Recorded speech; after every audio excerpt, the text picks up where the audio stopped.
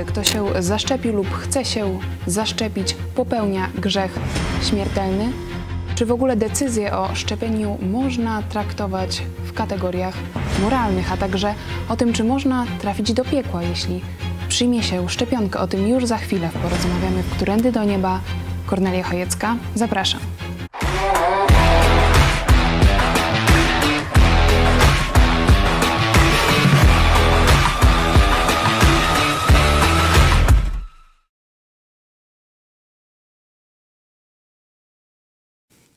Witam Was serdecznie w telewizji Idź Pod Prąd. Z nami w studiu jest pastor Paweł Chojecki z Kościoła Nowego Przymierza w Lublinie. Witam Cię serdecznie. Witam Ciebie i witam Państwa bardzo serdecznie.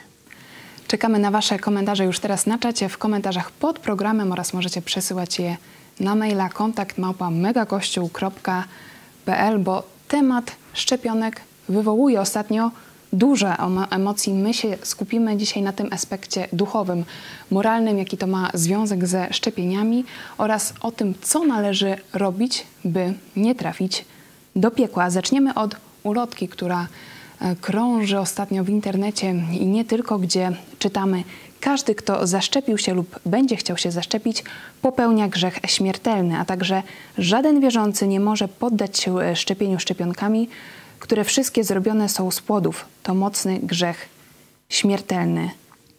Pierwsze pytanie: czy decyzję o szczepieniu można rozpatrywać w kategorii grzechu? Hmm. No, trzeba by zdefiniować tutaj jeszcze kilka dodatkowych czynników. Autorzy tej ulotki na przykład twierdzą, że wszystkie szczepionki, jakie są na świecie, są robione, czy możesz zacytować, z płodów dzieci zabijanych, tak? Tak. No, gdyby tak było, no to można by e, podciągnąć w jakiś sposób odbiorców tych e, szczepionek e, jako powiedzmy mających współudział w mordowaniu dzieci. Nie? Chociaż i tutaj e, zdaje się Kościół katolicki, ale też inni teolodzy moralni by pokazywali w zależności w jakiej sytuacji znajduje się dany człowiek. Także tutaj ta ocena moralna by się troszeczkę różniła, ale e, to nie jest prawda, że wszystkie szczepionki robione są z płodów dzieci.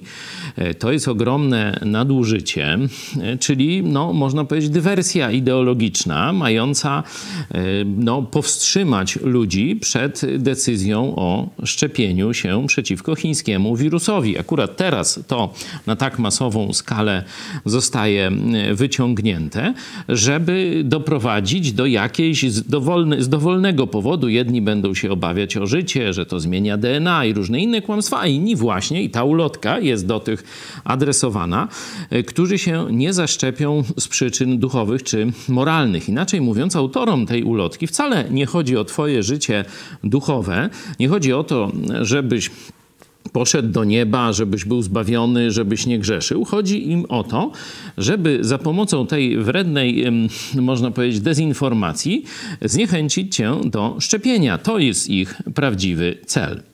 Ale dlaczego e, według Ciebie coraz więcej ludzi patrzy na szczepienie się w tych kategoriach właśnie grzechu. Dlaczego e, tak uważają, skąd to się bierze? Mm, to też ciekawe zagadnienie. Praktycznie ja już tam żyję prawie 60 lat. Jako dziecko byłem szczepiony na różne choroby.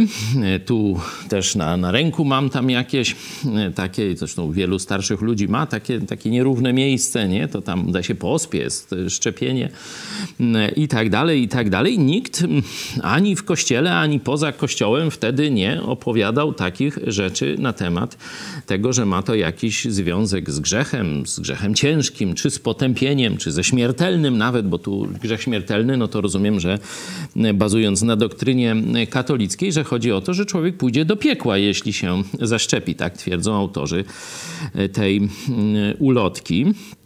Myślę, że żyjemy w takim czasie odchodzenia od rozumu, od faktów e, w kierunku takiego rządzenia emocji. E, czyli można powiedzieć, wracamy w pewnym sensie do średniowiecza, czyli do zabobonu. Nie? Że ludzie nie mają już wiedzy, ale mają różne lęki, fobie. I teraz różni spece od takiej masowej, można powiedzieć, manipulacji, czyli okłamywania, żerują na tych właśnie nie do końca określonych fobiach. Tutaj jeśli tylko ostatnie zdanie, myślę, że to ma związek z takim troszeczkę popular, z popularyzowaniem tematu apokaliptycznego, nie?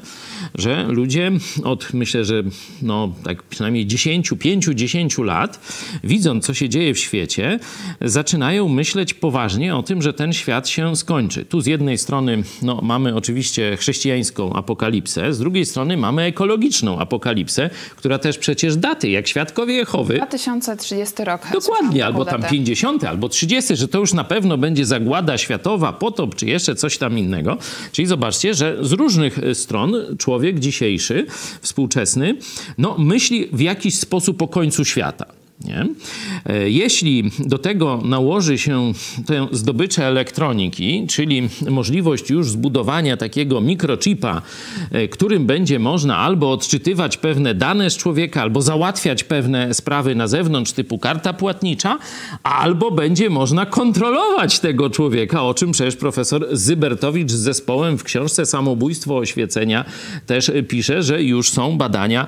Zresztą Elon Musk też mm, o tym pisze, to robi robi już tam z małpami, świniami, nie wiem co on tam wyprawia. Myślisz, że ludzie po prostu teraz są bardziej podejrzliwi i wypatrują jakichś takich teorii Dokładnie e, tak. spiskowych? Dokładnie tak, że e, nie są doinformowani. To się kiedyś tak mówiło, że wie, że dzwoni, ale nie wie w którym kościele. Nie? Czyli oni już wiedzą, że coś dzwoni, wiedzą, że ten świat rzeczywiście zmierza do jakiejś, jakiegoś końca albo przynajmniej ogromnej zmiany takiej w poziomie globalnym, e, ale jeśli chodzi o wiedzę, wiedzę, jak się to ma odbyć, jakie ewentualne znaki mają być tego, to tu już jest bardzo duża, można powiedzieć, niewiedza i wykorzystywanie przez różnych takich szarlatanów, czy wręcz wrogie służby komunistyczne. Cytat Xavier Messing, autor książki 46 sekund, napisał niedawno na Facebooku, działa tu kolejny prosty mechanizm psychologiczny, w ramach którego brak wiedzy rzeczywistej stwarza pole do pojawiania się coraz to nowych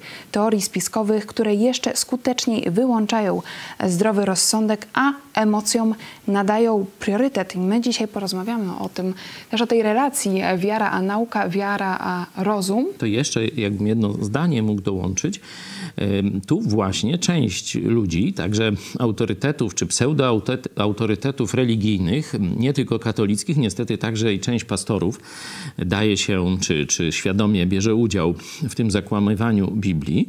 Najpierw twierdzili, że to maseczka jest y, tym chipem, czy, czy znaczy nie chipem, tylko tym y, znamieniem bestii, o, której mówi, o którym mówi Apokalipsa, że przyjdzie taki czas, gdzie będzie rząd światowy, jeden rząd, jedna światowa religia, no i wtedy będzie się rzeczywiście zmuszało ludzi do oddania czci y, temu przywódcy, takiemu Führerowi rządu światowego, czyli antychrystowi wcielonemu w człowieka i, czy diabłu wcielonego w człowieka, w człowieka, można tak powiedzieć, powiedzieć, czyli antychrystowi, tak się ten, tę postać w Biblii tradycyjnie nazywa.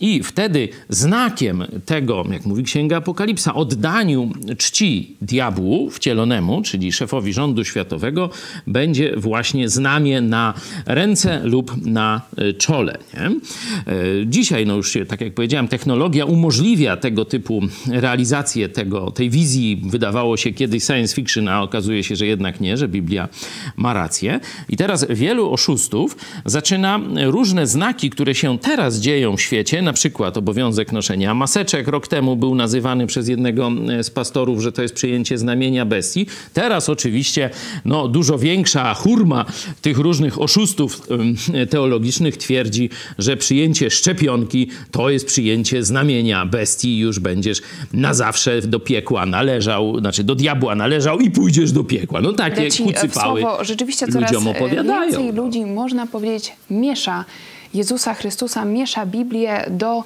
dyskusji na temat szczepionek. Ostatnio widziałam taką ulotkę, lek na lęk przed koronawirusem i tam jest mówione o Jezusie Chrystusie, Co byś powiedział takim osobom? Czy w ogóle Jezusa Biblię można mieszać do tej debaty e, wokół e, szczepionek? Znaczy, mieszać to może to nie jest precyzyjne słowo, no bo Biblia, e, w tym sensie można powiedzieć Bóg czy Jezus, e, porządkują wszystkie dziedziny naszego życia. W Biblii znajdziemy mądrość dotyczącą każdej e, dziedziny naszego życia. Wprost o szczepionkach nie ma. Nie? Także mówienie, że Jezus powiedział, że tam się trzeba szczepić albo nie trzeba szczepić, to jest nadużycie, bo rozumiem, że o to pytasz. Czyli w tym sensie jest to nadużycie. Ale Jezus, poświęciłem temu zresztą ostatnio e, kazanie, mówił, że mamy sobie czynić ziemię poddaną. To jest już w pierwszej księdze, potem pojawia się także w Starym Testamencie, w innych księgach, na przykład e, w księgi, księgach Salomona. Jest to, że właśnie takie zadanie zlecił nam pasterz. Nie? I tu ewidentnie już jest o Jezusie. Do Nowego Testamentu i tak dalej. Wszędzie e, widzimy taką potrzebę, którą Bóg dał człowiekowi, żeby poznać, jak funkcjonuje świat. Takie zadanie zbadania świata i dobrego nim zarządzania. I w tym momencie już medycyna, zdobycze medycyny się mieszczą, czyli te dobre e, zdobycze medycyny powinniśmy popierać jako chrześcijanie. Tu oczywiście nie chcę zamykać tematu, e, na ile szczepienia, jakie szczepienia są dobre, a jakie są złe, ale sam postęp medycyny, samo, e, sama zdolność człowieka do leczenia coraz to nowych chorób jest jak najbardziej dobra i popierana przez Jezusa. To trzeba jasno powiedzieć, bo takie objawienie mamy Jego słowa. Zaczęliśmy nasz program od ulotki, która ostrzega przed grzechem śmiertelnym. Chciałam zacytować fragment oświadczenia Konferencji Episkopatu Polski w sprawie szczepionek. Dziś jednak już wiadomo, że szczepionki firm AstraZeneca i Johnson Johnson są niestety oparte na technologii bazującej na komórkach pochodzących od abortowanych płodów. Ten fakt budzi poważny sprzeciw moralny. Po tym oświadczeniu no, posypało się wiele no komentarzy. Czy zgadzasz się e, w tym punkcie z konferencją Episkopatu Polski? Tu zdaje się ta konferencja Episkopatu Polski e, troszeczkę inaczej to przedstawiła niż nawet e, sam papież Franciszek, czyli jak to się mówi, polscy biskupi są bardziej papiescy od papieża. No, ale... Franciszek kilka dni temu powiedział, że szczepienia przeciw COVID-19 powinny być uważane za powszechne dobro wspólne. No, także widzimy tu zmianę, czy rozdźwięk pomiędzy nauczaniem katolickiego episkopatu w Polsce, a Kościoła Rzymskokatolickiego, jeśli chodzi o światowe zarządzanie z Watykanu. Ja nie jestem katolikiem już od ładnych 30 tam paru lat, e, stąd no tak, czy się zgadzam, czy się nie zgadzam, no to tam nie jest takie e, istotne. Myślę, że na tej informacji episkopatu e, zbudowana jest ta ulotka. Oczywiście ja nie twierdzę, że episkopat tę ulotkę napisał. Wiem, gdzieś wydał.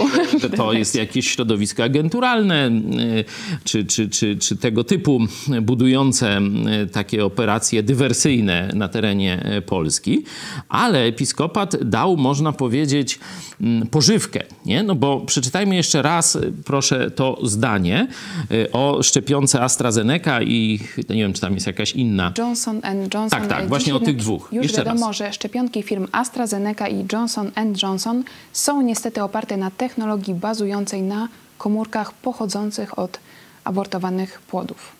Tu mamy dwa określenia, które oddalają, można powiedzieć, w czasie, czy oddalają przyczynę od skutku. Zobaczcie, oparte na, czyli nie są, tylko są oparte na technologii bazującej, czyli też jeszcze opartej na czymś tam innym. Nie? Czyli zobaczcie, zdanie jest bardzo, jakby to powiedzieć, skomplikowane i nieprecyzyjne.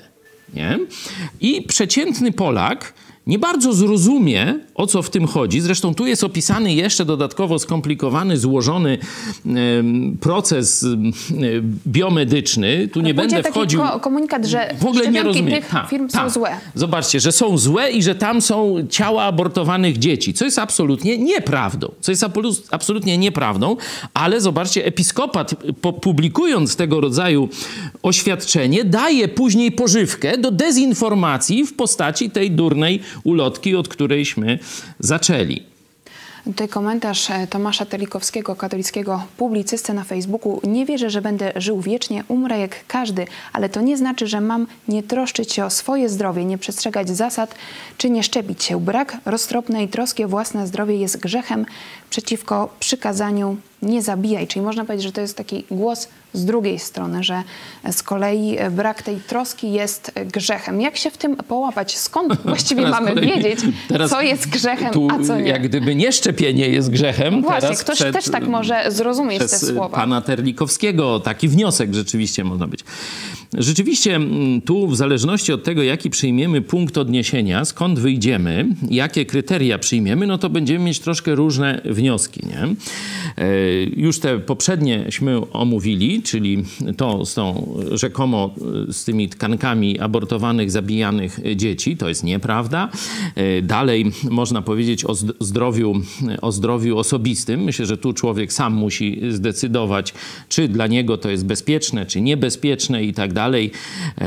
Nie trzeba absolutnie twierdzić, że szczepionka jest w 100% bezpieczny, bezpieczna, bo to jest nieprawda. Może niektórym zaszkodzić, są efekty uboczne, są też zgony i tak dalej, no każdy musi rozważyć, czy e, woli przechorować i przyjąć te wszystkie skutki uboczne samej choroby, czy woli podjąć mniejsze ryzyko, tak ja na przykład oceniam, e, zaszczepienia e, się. Nie? Teraz tu jest trzeci poziom moralny, czyli poziom dbania o innych, czyli poziom dbania narodu. I tutaj rzeczywiście pan Terlikowski opiera się na zdaniu epidemiologów, że żeby ten y, wirus zniknął z naszej, można powiedzieć, y, przestrzeni życiowej, tak jak zniknęły inne choroby, bo już tam dzieci chyba w Polsce rzadko na odrę chorują, nie? Chociaż tam się mówi, że ze względu na nieszczepienie, tam 95% powinno być szczepienia, żeby ta choroba nie wróciła. Dzisiaj już chyba jest 90, tam nie wiem, 2 czy 1, nie? Czyli już przekroczyliśmy y, to, to minimum, ta choroba może wrócić. No ale pokazuje, że w wyniku szczepień, no pozbyliśmy się pewnych chorób praktycznie praktycznie na stałe z naszej przestrzeni mm, życiowej.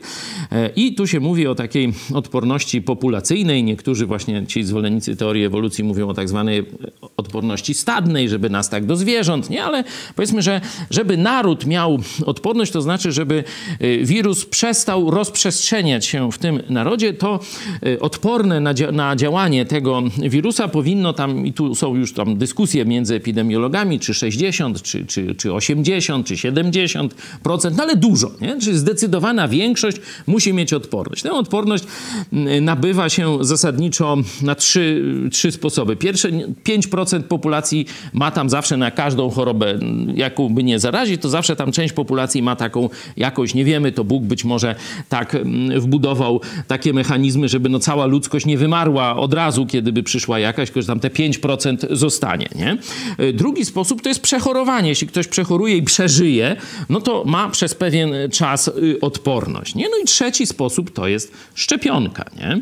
To jest ten trzeci sposób jest sposobem sztucznym, nie? ale ludzkość wynalazła różne sztuczne rzeczy. Aspiryna, przypominam, też jest syntetyczna, sztuczna i też ją połykają ci, którzy mówią, że grzech śmiertelny to szczepionka. Podsumowując, Podsumowując y, przyjęcie szczepienia lub nieprzyjęcie szczepienia wpływa na kondycję całego narodu. I w tym sensie tu niektórzy moraliści, publicyści, tu pan Terlikowski, mówią, że mm, odmawianie mm, szczepionki, czy, czy jakieś takie potępianie w czambu szczepienia, to jest narażanie wielu ludzi na y, chorobę, a niektórych na śmierć. Bo gdyby się zaszczepili, tu na przykład okładka e, takiego ty, ty, tygodnika od rzeczy, znaczy on dla niepoznaki jest do rzeczy, to jest właśnie, że to muszę, nie wiem, Rockefeller, Soros, czy, czy kto cię tam kto cię tam zaczipuje, czekaj, za, zaszczepi. Bill Gates. Bill Gates, nie? Tam różne są. Wiecie, to jest mm, z poziomu, y, ta, ta gazeta zeszła na poziom y, Mietek kontra masoni mniej więcej. No to zobaczcie, to jest okładka od rzeczy. Y, I tam pan Lee Liś, Lisicki. Lisicki, e, redaktor naczelny, taki niby chrześcijanin, on takie różne tam się maskował, różne takie tam pisał e, rzeczy. No teraz jedzie, że tak powiem, ruską onucą jak, jak trzeba. Zobaczcie, no ludzie są mm, oburzeni. To jest rzeczywiście uderzenie w, e, można powiedzieć, w przetrwanie narodu. Nie? Czyli można Za pomocą to kłamstwa. rozpatrywać w kategoriach moralnych. Bo jeśli ktoś mówi, słuchajcie, szczepienia są ryzykowne, no tyle, takie powikłania i tak dalej, i tak dalej, nie? Ale jeśli ktoś przychodzi i mówi, zaszczepisz się, to pójdziesz do piekła. Nie, nie ma w ogóle żadnego dowodu w Biblii na to, że zaszczepienie gdzieś łączy człowieka z piekłem. Albo, że ta szczepionka to jest spisek y, Mietka i globalistów raz, wraz z Soroszem, y, nie wiem, Rockefellerami i czym y, tam jeszcze innym. Jeśli nie ma dowodów na to, tylko jemu się tak wydaje albo przeczytał u cioci na fejsiku, nie? no to to jest nieodpowiedzialność. A nieodpowiedzialność jest działaniem złym. Działaniem złym. Jeśli masz dowód na ten spisek, to go pokaż. A jeśli nie, to nie twierdź w sposób pewny, że tak jest, tylko możesz powiedzieć, ja się obawiam, że to jest spisek, nie? Ja, można powiedzieć, usłyszałem gdzieś, nie? Ale nie wiem gdzie, nie wiem, czy to prawda, nie? Czyli trzeba pokazać, że to jest niesprawdzona informacja. Tu Mietek kontra masoni, czy tamten dziś i tego, od razu wali, że to Soros cię chce zaszczepić i za tym wszystkim stoi Soros, Chciałam jeszcze wrócić do tego grzechu, bo tak jak mówiliśmy, na początku, według niektórych zaszczepienie się może być popełnieniem grzechu śmiertelnego. Co na to Biblia? Czy jest w ogóle coś takiego jak grzech śmiertelny? Bo, śmiertelny? Bo myślę, że wielu tak. e, ludzi może się tego obawiać, że popełni coś, co jest tym grzechem śmiertelnym. Trzeba oddzielić teologię, czyli to, co ludzie mówią na temat Boga, no w naszym nurcie kultura, okręgu kulturowym, no to głównie chodzi o jakieś teologie wypływające z Biblii, od samej Biblii. Rzeczywiście pojęcie grzechu śmiertelnego w teologiach dość mocno funkcjonuje. Jest takie, mm, dość dużo jest na temat, szczególnie w teologii katolickiej, tam cały czas jest grzech ciężki, grzech śmiertelny i tam straszą e, takimi mm, różnymi hopsztosami, że jak to zrobisz, no to już pójdziesz do piekła, nie pomoże ci ani najświętszy Najświętsza Panienka, ani Najświętszy Sakrament, chyba że po tym grzechu znowu przylecisz do księdza, a to wtedy już nie będzie taka nędza, y, tylko będą już y, tu skarbona się wypełni. jest też recepta czyli wystawienie w oknie chroniącego no nie, świętego to, obrazu lub krzyża. Y, już tam o zabobonach tych katolickich to nie mówmy, ale y, wróćmy do tego grzechu y, śmiertelnego. Także on przede wszystkim wywodzi się z teologii, z teologii katolickiej i tam jest no, namiętnie, że tak powiem, ludziom wmawiany. Nie? W teologii protestanckiej pojawia się niekiedy jako grzech przeciwko Duchowi Świętemu. Poświęciłem już kilka programów, możecie sobie zobaczyć, także warsztaty biblijne. Polecamy pokazując, książkę Trudne wersety. Tak, pokazując jasno, mam nadzieję, że tego y, grzechu chrześcijanin dzisiaj nie jest w stanie popełnić. Mówiąc w skrócie, on polegał na tym, że ktoś widział Jezusa i jego cuda, widział na własne oczy, był wtedy na ziemi i mówił, że to jest od diabła. Czyli Bóg dał świadectwo, Bóg Ojciec dał świadectwo o Synu. Ktoś to widział, faryzeusze to widzieli i odrzucili to, to, świadectwo. To wtedy oni i tylko oni popełnili ten grzech przeciwko Duchowi Świętemu. Także w teologii protestanckiej, często zielonoświątkowej, też to mm, fałszywe rozumienie tego tekstu biblijnego się pojawia. A teraz wracając do Biblii. Rzeczywiście Biblia mówi o grzechu śmiertelnym, niektórzy tak to tłumaczą, a precyzyjniej można powiedzieć grzechu, który sprowadza śmierć grzechu, który sprowadza śmierć. I w przeciwieństwie do tych teologii, szczególnie do teologii katolickiej, w Biblii jest bardzo mało na ten temat mowy.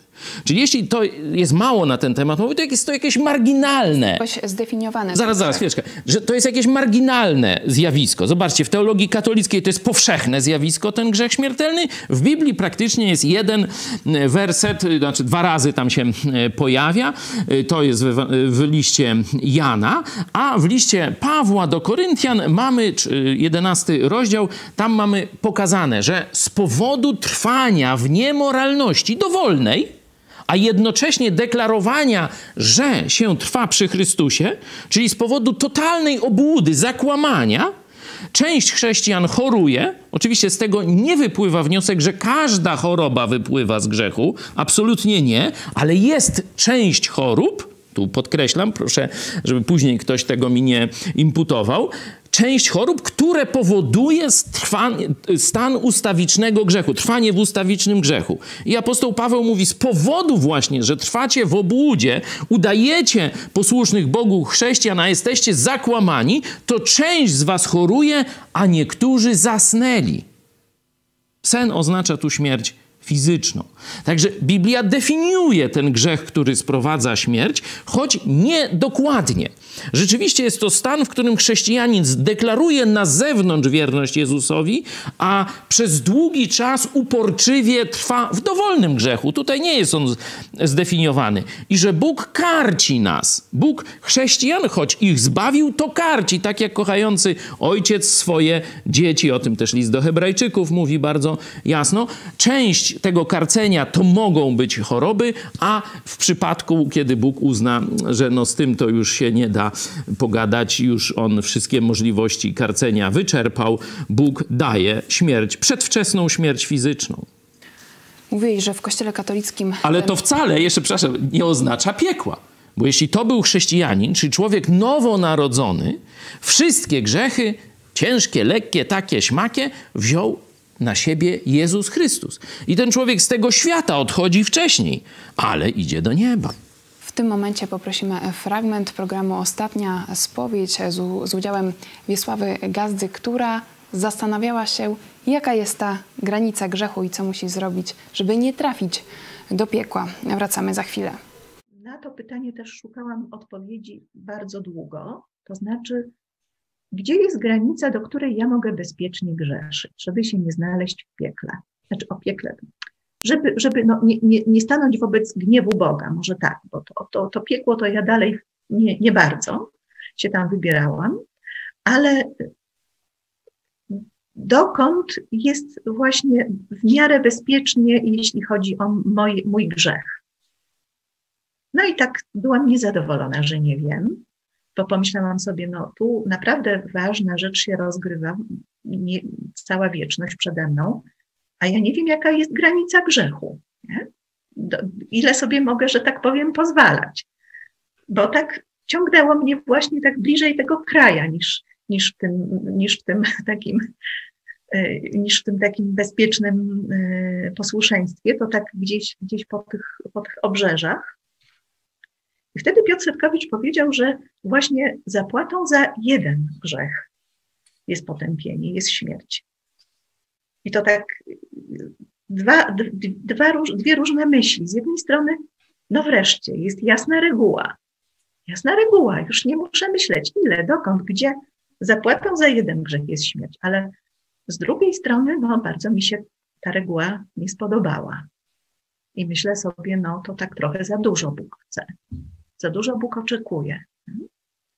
No ale Piotr też powiedział, że właśnie Bóg jest święty i nic, co jest grzeszne, nie może stanąć y, przy nim, nie może się znaleźć przy Bogu. Dlatego człowiek musi być oczyszczony, obmyty i po to Jezus umarł na krzyżu, żeby nas obmyć.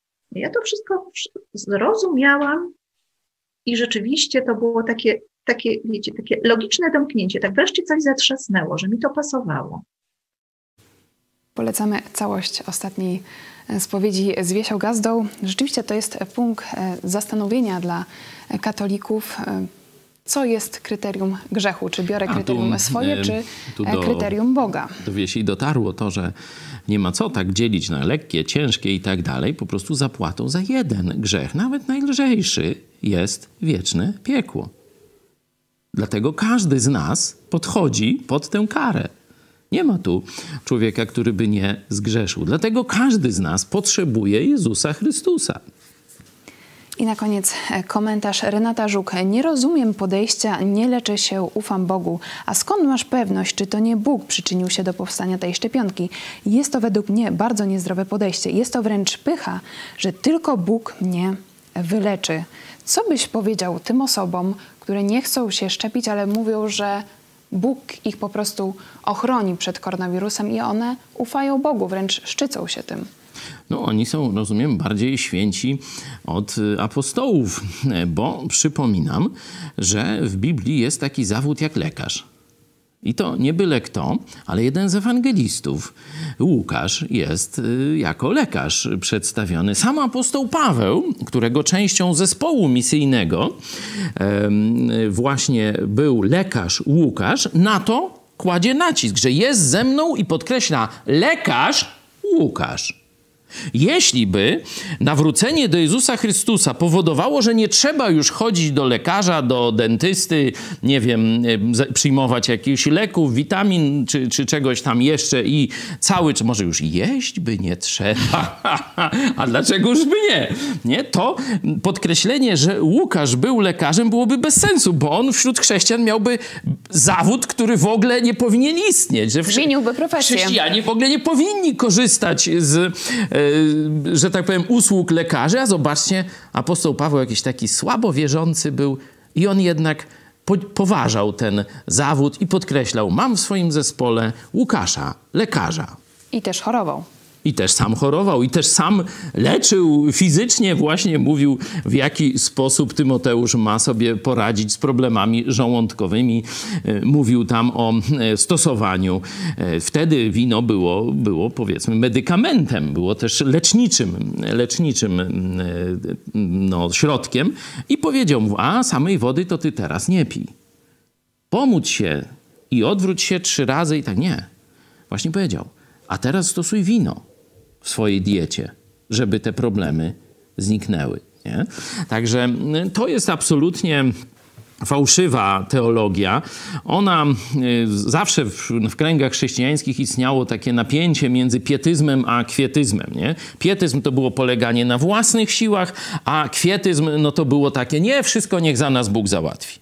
Rzeczywistość jest pomiędzy. Nie? Trzeba zachowywać harmonię. To, co my już umiemy zrobić, czyli umiemy sobie jedzenie przyrządzić, nie? to ja się nie modlę, Boże, podgrzej mi tam kotleta, tylko tam sam to zrobię, nie?